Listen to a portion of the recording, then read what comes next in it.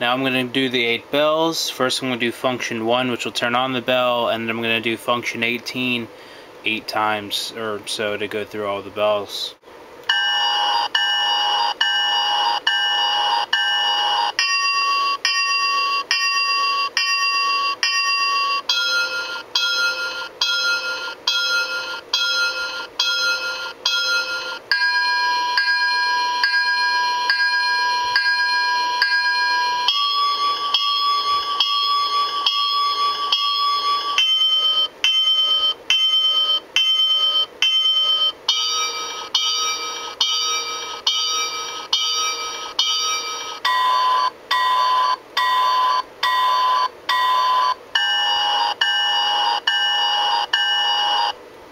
And those are the bells. I um, have them currently set to about two or three rings per second or something like that, but you can change that in another CV.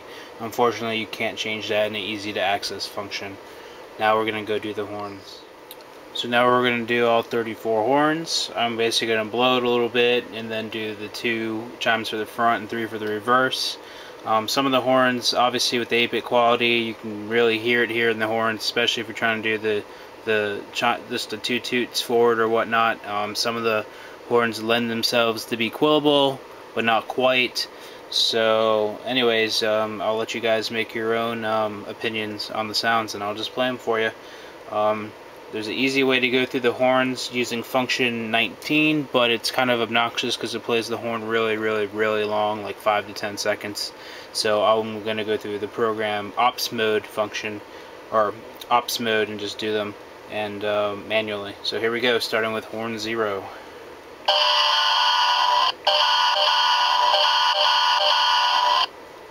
On to one.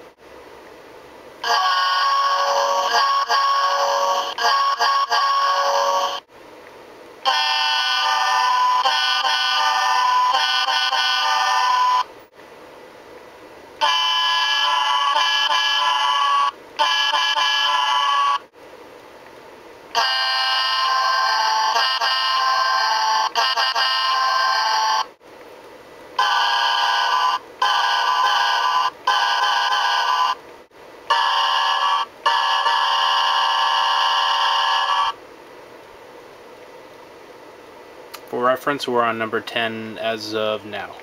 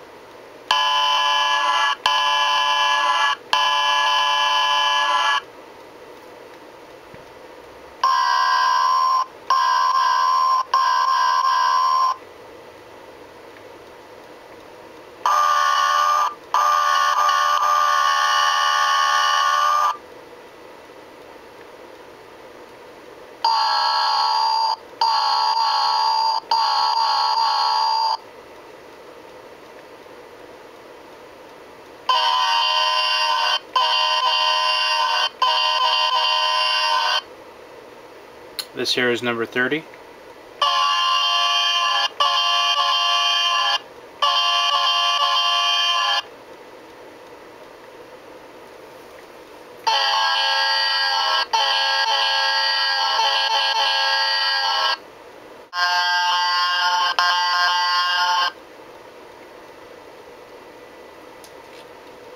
And here's the last one.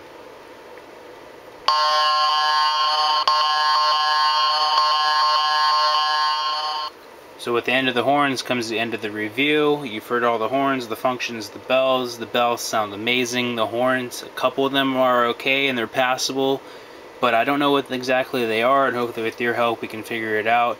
I've definitely heard a couple of them before, you know, in railfan videos or even in real life, but I just think the quality is lacking on quite a bit of them as far as the robustness to be able to um, do the two toots forward or the three toots reverse. I just think it's um, somewhat difficult with what's given to us. I do hope that MRC comes out with 16-bit sounds for these decoders sooner rather than later, as it's a pretty good, um, you know, deal to get both sound and motors just for around $75 to put into an engine instead of at least, you know, 120 to $150 to do a two decoder setup. But that's the end of the review. If you have any questions, feel free to ask, and thanks for watching.